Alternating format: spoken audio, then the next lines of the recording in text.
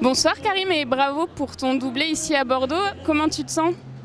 Ah, demander à un gagnant comment il se sent, euh, vraiment super. Je suis ravi que ça soit passé en plus dans ces conditions où euh, bah, le cheval était vraiment bien. Je me suis régalé tout le long. Voilà, je me suis même pas soucié véritablement du chrono tout au départ. J'ai essayé de rouler gentiment et puis après j'ai avancé puis, euh, et puis je suis bien. bon super, alors cette année c'est avec ton, un, de tes chevaux de tête. L'année dernière c'était une jument un peu moins expérimentée. Comment tu as préparé Panche pour ce concours? Alors Punch, je l'ai préparé euh, simplement. Euh, déjà, j'étais allé à Genève avec, oui, quatrième.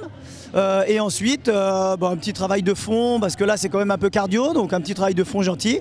Et puis, que du stretching. Hein, je n'ai même pas ressauté pour venir. Super. Et qu'est-ce qui est prévu pour la suite? Alors, la suite, ça va être le Grand National de Saumur. avant, il y aura le stage, un stage à Saumur également. stage de préparation pour Saumur, mais aussi pour les Jeux, parce que le cheval est JO donc euh, avec mon autre cheval en TB2US aussi.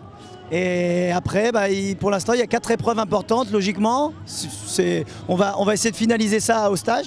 Mais logiquement, je vais faire beaucoup d'étapes du Grand National et un concours euh, en Angleterre qui s'appelle Chassworth. Merci. Merci.